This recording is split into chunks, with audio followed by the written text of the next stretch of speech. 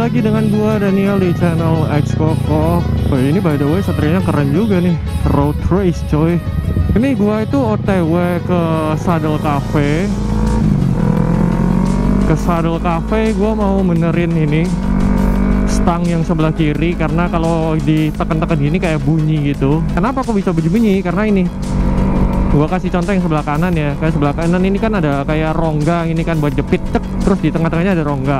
Nah di rongga itu gua kasih ini phone holder. Jadi kan lebih ngelebar gitu. Jadi lebar lebih nggak rapat gitu lah nggak gigit. Situ mau gua phone holdernya mau gua lepas dan gua pindah ke yang ini yang bagian luar jadi ntar gua belikin baut yang lebih panjang terus gua kasih skrup gitu biar kegigit. Jadi stangnya rapat phone holder juga nggak goyang gitu. Dan sebenarnya ngerjain di rumah bisa sih cuman karena ini berhubung arah pulang jadi sekalian aja lah. Biar enggak nggak keburu gelap gitu. Kalau keburu gelap nggak enak ngerjain motor gelap-gelap. Dan video kali ini tuh gua berbeda dengan video sebelumnya. Apa yang menjadi beda? Karena kalau di video sebelumnya itu kita ngomongin tentang topik-topik yang uh, motor yang nggak sampai berat banget mikir gitu nggak. Tapi di top kali ini menurut gue ini topik yang cukup berat dan membuat kita berpikir gitu. Uh, berkaitan dengan motor dengan duit dengan uh, mindset, persepsi. Jadi uh, gue itu tiba-tiba ini tuh spontan, spontaneous, spontan gue nggak ada uh, pemikiran kayak besok bikin ini ah itu nggak ada tiba-tiba kepikir aja kayaknya perlu juga nih gue bikin topik kayak gini gitu. Kalau kita tahu ya orang itu kalau punya motor ya gue tahu dalam perkembangan dunia motor 5 sampai 6 tahun terakhir itu gila banget gitu. Maksudnya dari dulu nggak ada yang namanya San Mori terus gara-gara viralnya anak-anak motovlogger di Indonesia terus jadi ada San Mori budaya permotoran di Indonesia jadi berubah komunitas-komunitas makin banyak sampai ada namanya helmet lovers juga knalpot lovers juga gitu dan kawan-kawannya lah. Dan gue itu bermikir gitu loh karena yang gue amatin sih kayak misalkan di suatu pergaulan ya misalkan kayak gue itu naik motor metik misalkan gue masih sekolah gitu karena kalau masih sekolah kan pasti dibelikin sama orang tua ya. Ya kecuali kalau kalian usaha gitu. Gue punya motor metik terus gue kumpul sama temen-temen gitu. Kebetulan temen-temen itu ada yang punya motor sport. Motor sport 150 motor sport 250 gitu. Terus yang gue amatin sih pasti ada kalau kita riding San Mori atau apa pun itu pasti ada yang namanya racun gitu. Entah itu motor entah itu helm apa pun itu. Yang si pu yang punya motor metik ini selalu kayak gantilah gitu ke naik upgrade lah ke motor sport 150 cc gitu. Akhirnya si anak ini pengen gitu kan. Ya pasti pengen lah namanya upgrade siapa sih yang nggak pengen itu kalau pengen punya motor yang lebih bagus siapa juga yang nggak pengen itu pasti semuanya kan juga pengen gitu kan. Rasa keinginan itu pasti ada gitu di setiap manusia. Itu adalah sifat dasar manusia sih emang. Rasa nggak pernah puas itu memang pasti sifat dasar manusia. Demikian juga gua dengan gua. Well di sini gua mau ngasih tahu kalau actually kalian kepengen barang kalian kepengen sesuatu hal itu nggak salah. Actually itu nggak salah karena ya namanya juga manusia gitu loh. Siapa yang nggak kepengen memiliki barang bagus? Siapa yang nggak kepengen memiliki sebuah fasilitas tambahan yang lebih bagus dari sebelumnya. Pasti kan ada titik titik di saat di mana kalian itu ingin naik level. Contoh kayak gue itu kapan hari sempat share di Instagram kayak uh, kalau kalian belum mampu beli tas seharga 100 juta ya udah beli aja yang harga 40 juta gitu. Kalau masih belum mampu beli yang 40 juta ya udah beli aja yang 10 juta. Kalau belum mampu 10 juta ya beli yang sejuta nah di situ kita bisa memetik pelajaran. Kalau misalkan kalian mikir, oh harga atas 100 juta itu mahal. Ya berarti memang kalian belum berada di level untuk membeli tas itu. Kalau kalian mikir harga tas tersebut mahal ya walaupun memang sih kalau gua pikir-pikir lagi kalau gua meskipun gua tajir segimana nya tetap aja tas 100 juta itu mahal. Tapi bukan itu poinnya. Maksudnya adalah kalau kalian mudah mengeluarkan duit segitu untuk membeli barang ya berarti kalian sudah berada dalam level tersebut gitu loh. Kalau belum ya jangan dipaksain gitu. Di situ kayak gua mikir oh iya bener juga nih analogi analogi seperti ini bener juga. Dan gue lihat-lihat beberapa ya gue bisa bilang beberapa mungkin uh, bikers di Indonesia mungkin seperti itu beberapa juga mungkin enggak. Dan ini gua putar balik mau ke saddle dulu. Wah ada Pak Poi. Ini bapaknya depan nggak pakai helm Pak Poinya tapi pakai mobil jadi nggak bisa nilang ya sudah Allah jadi racun kalau kita hangout racun kalau kita ngumpul sama teman-teman itu selalu ada deh. Gue juga kadang heran gitu ada ada racun yang disebarin itu. Ini by the way gue mau masuk dulu lah di saddle ya semoga aja masih bisa nutut. Karena juga aduh nanggung. Ini ada Mas Budi juga. Halo Mas. Tuh Mas Benny main HP kelihatannya garapannya sepi jadi main HP gaji buta emang gaji buta nih Mas Benny. Kalau mau servis ke sini tinggal itu. Wah ini liatin etalas nih. Wah ini mau buka bengkel sendiri nih habis ini nih. Mantep nih. Ntar gue lanjut aja di jalan. Ini mau benerin dulu supaya enak.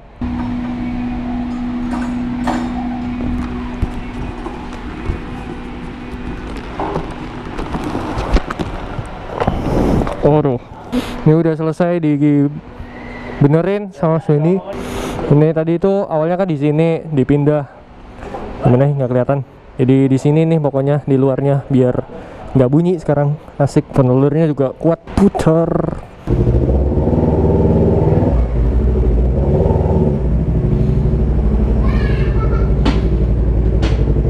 Pakai glove dulu. Oh iya, kenapa kalau kalian wonder ya?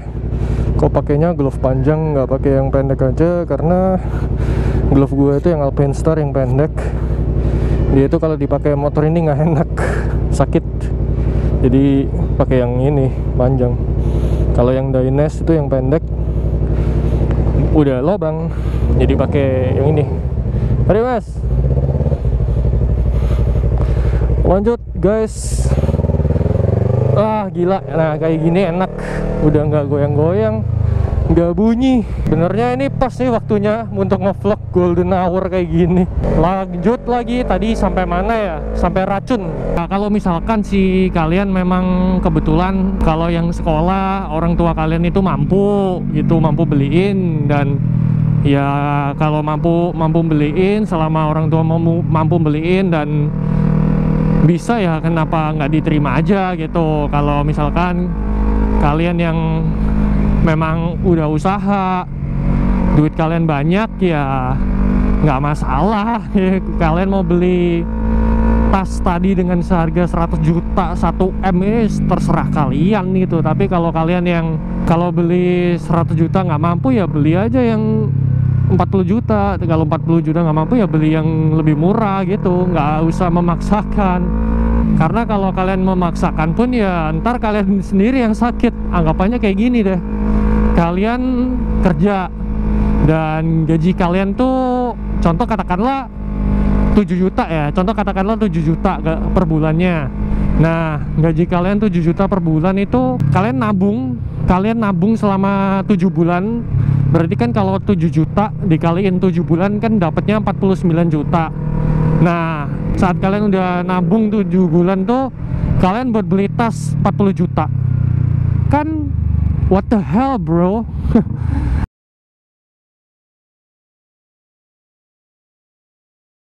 Kalian nabung duit 49 juta terus kalian pakai beli tas 40 juta gitu.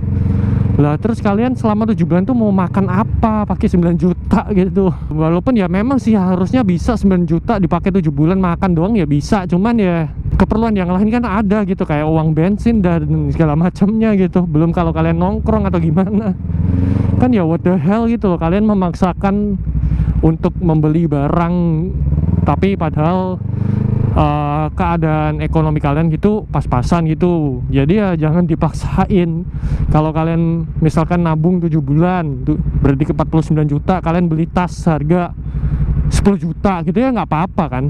It's okay gitu loh masih ada duit untuk uh, hidup kehidupan kalian gitu loh. Kalian kayak dikucilin karena barang kalian itu nggak sebagus barang teman-teman kalian itu ya udah gitu. Kalau misalkan kayak gitu kasusnya kayak gitu ya udah. Kalau gue sih ya mending gue tinggalin lah gitu. Gue cari teman yang intinya gini coy uh, carilah pergaulan itu yang dapat mengeluarkan potensi maksimal kalian gitu loh. Bukan mereka yang malah menjatuhkan kalian dan bukan mereka yang meninggalkan kalian di saat kalian itu lagi down gitu loh. Nyantai-nyantai dulu nikmatin golden hour.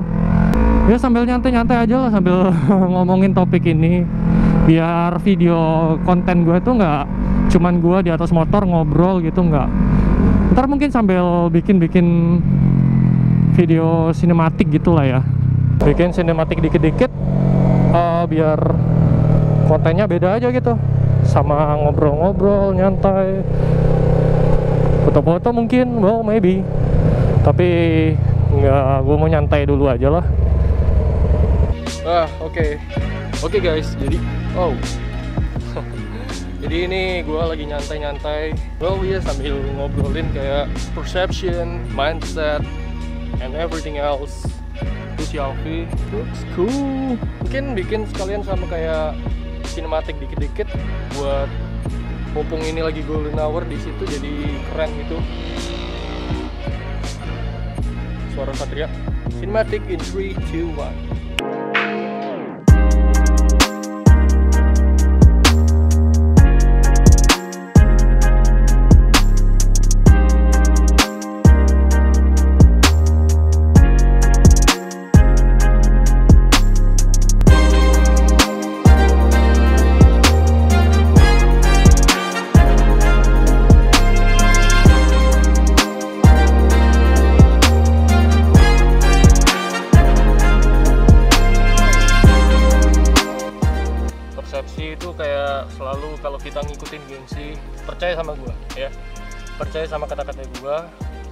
kita nggak akan uh, bahagia. I mean true happiness if we follow our ego.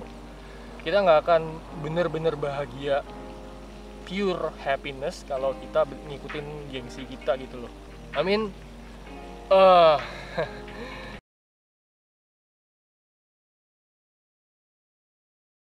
dan kalau gue ditanya sendiri gitu berarti kalau beli moge salah dong? Enggak beli moge beli barang yang mahal uh, itu nggak salah sama sekali. Tapi yang salah itu di, adalah kalau kalian itu maksain kehendak. Kayak misalkan kalian itu uh, belum ada di taraf tersebut untuk membeli barang tersebut tapi kalian paksain itu salah. Uh, ya kan nggak apa-apa bang. Namanya kepengen namanya juga kepengen motor bagus namanya juga pengen barang bagus masa nggak boleh? Well iya tapi kalian juga lihat, lihat situasi juga. Misalkan kayak uh, contoh kan gua. Gua sekarang di umur 23 dan I know I know gua ada rencana untuk ganti moge. Memang iya gua akuin memang gua ada rencana untuk ganti moge. Tapi gua sekarang di umur 23 tanggung jawab terbesar kalian itu apa di umur kalian saat ini? Misalkan kalau misal kalau kalian masih sekolah tanggung jawab terbesar kalian ya adalah kalian lulus dulu gitu. Kalian lulus sekolah dulu masuk kuliah dan di kuliah kalian nabung uh, freelance kayak gue freelance kalian kumpulin duit untuk masa depan kalian. Ya bukan kalian kumpulin duit langsung kalian buat beli moge gitu bukan.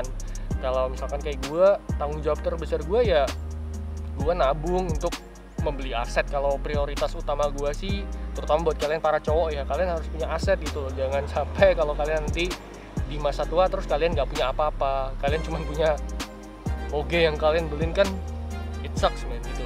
Kalau ditanya di umur 23 sekarang ini buat gue sih moge itu bukan suatu hal yang first priority bukan suatu hal yang prioritas utama tapi prioritas utama gue adalah ya gue nabung. Untuk masa depan gue gue oh ada jet kadang juga sempet gak sih kalau di Instagram gue pernah lihat Broron kalian pasti tahu Broron kan dia kayak ada itu harga CBR 600 berapa? 17 setengah 17 juta ya gitu 170 juta.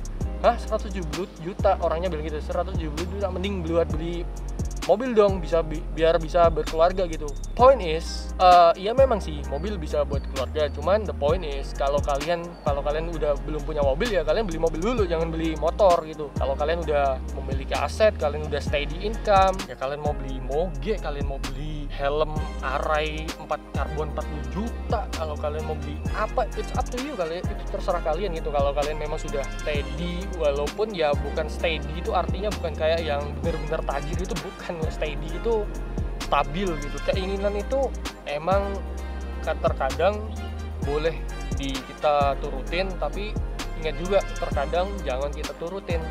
Karena yang terpenting itu bukan keinginan tapi kebutuhan. Jadi kebutuhan itu harus dipenuhi terlebih dahulu baru kalian menurutin sebuah adanya keinginan. Kalau kalian mengikuti keinginan terlebih dahulu ya kalian nggak akan bisa memenuhi kebutuhan. Kalau kalian nggak bisa memenuhi kebutuhan ya nanti kalian sendiri yang akan akan broke di masa tua kalian gitu. Jadi muda itu cuma sekali. Masa muda ya pergunakanlah masa muda kalian itu sebijak-bijaknya gitu loh. Kalian bijak-bijaklah menggunakan uang terutama buat yang mungkin buat penonton gua yang seumuran gua atau lebih muda dari gua atau buat kalian yang masih sekolah gitu atau yang buat kalian yang masih kuliah saving money is the best. Saving money is the most important thing of all. Jadi kalian tabunglah uang kalian itu sejak dini gitu loh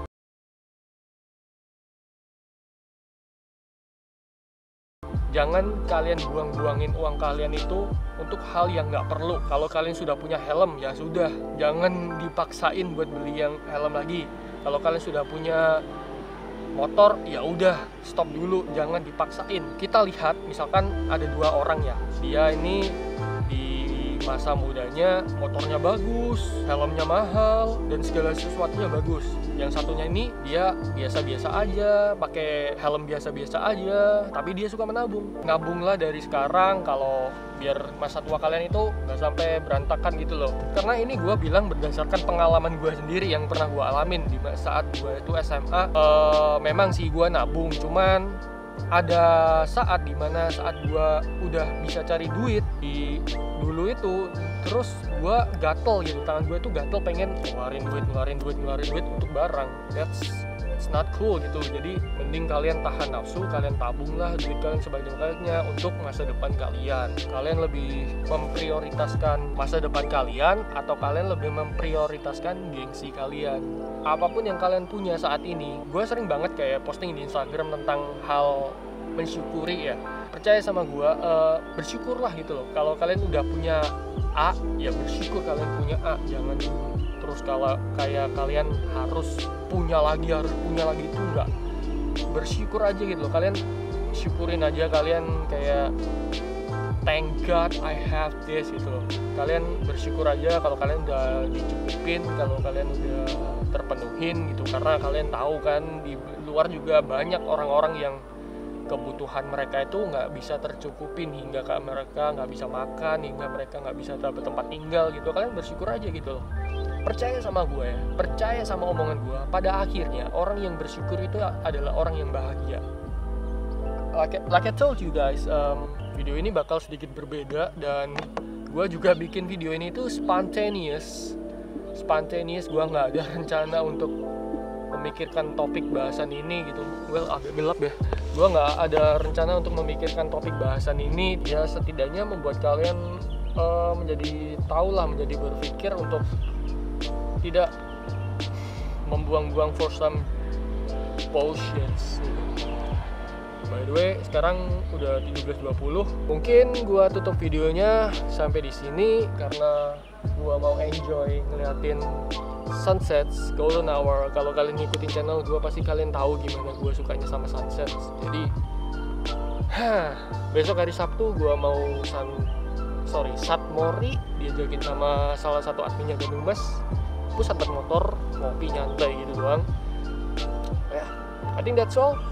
Sekali lagi gue sorry kalau ada kata-kata yang nggak enak dan kata-kata yang sedikit offense. Kalau misalkan kata-kata tersebut buat kalian offense gue minta maaf. Tapi kalau kalau uh, kata-kata tersebut dapat menginspirasi kalian thank you so much and you're welcome. Di sini gue cuma sekedar sharing bukan bertujuan untuk mengajari kalian tapi gue di sini cuma sekedar sharing pengalaman gue sendiri. Jadi gitu aja untuk video kali ini. Tentunya kalau kalian baru di channel gue jangan lupa tekan tombol subscribe di channel X Koko dan follow instagram gue di at X Koko. Dan until next time yo. I'll see you guys on the next one. Shape life lit. Ciao